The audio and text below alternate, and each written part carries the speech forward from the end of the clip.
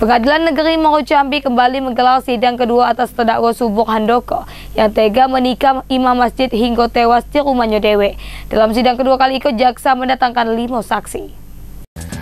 Pengadilan Negeri Moro Jambi melanjutkan sidang kedua atas terdakwa Subuk yang tega membunuh imam masjid di rumahnya dewe. Kali itu jaksa penuntut umum mendatangkan saksi-saksi dalam perkara sidang pembunuhan korban imam masjid. Saksi yang dihadirkan oleh jaksa penuntut umum yakni Cumaini bini korban, Emnu Saputra dan Siti anak korban serta Budi tetangga korban. Dalam kesaksian bini korban pelaku sempat mendodongkan pisau ke arah dirinya setelah menikam lakinya. Dan seketika anak korban Siti yang nengok dan berteriak terdakwa langsung kabur. Diketahui saat terdakwa kabur korban sudah bersimbah darah. Lain halnya dengan Budi Setiawan tetangga korban. Dirinya nengok subuh setelah membunuh dan balik dari rumah korban. Namun Budi tidak berani menangkap pelaku karena pelaku membawa pisau.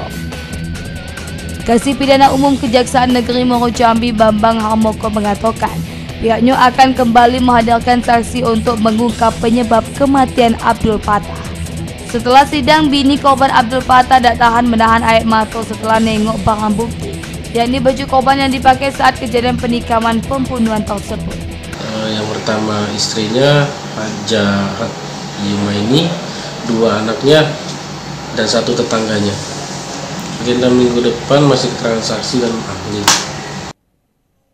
Usai sidang, istri korban Abdul Fatah tidak tahan menahan air mata setelah melihat barang bukti, yakni baju korban yang dipakai saat kejadian penilaman pembunuhan tersebut. Novia Putri Sanjaya, Cek TV, Ngabak.